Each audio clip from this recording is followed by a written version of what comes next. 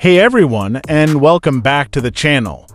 Today, we're diving into the world of privacy on your rooted Android phone with LSPosed. We'll be exploring a powerful tool called Geergit, a module designed to give you more control over the information your apps access. But before we jump in, a quick disclaimer, this video assumes you already have a rooted Android phone with LSPosed installed. Don't attempt this if your phone isn't rooted, as Geergit won't work.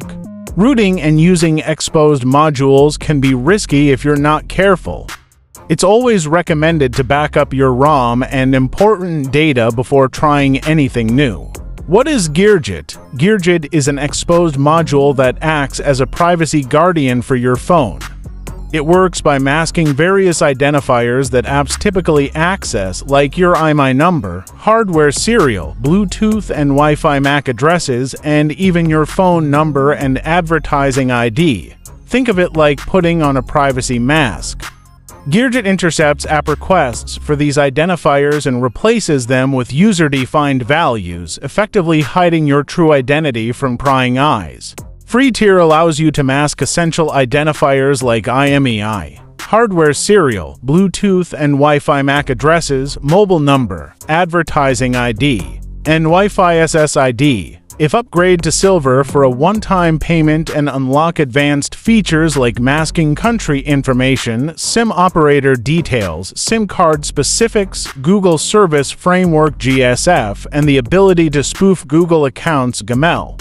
It's a great investment for serious privacy enthusiasts. Get everything in freemium and silver, plus access to upcoming features. Stay ahead of the curve with the latest privacy control options. This top tier offers all the features from the lower tiers and exclusive, cutting-edge options still under development.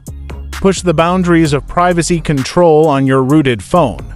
Alright, let's get Geergit installed. As mentioned, you'll need a rooted phone with LSPosed. Head to the link and download the latest version of the Geergit module.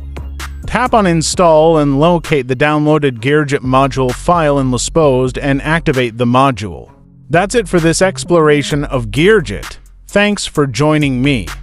If you have any questions or want to share your privacy tips, drop a comment below. Don't forget to like and subscribe for more tech tutorials and discussions. Until next time, stay safe and stay private.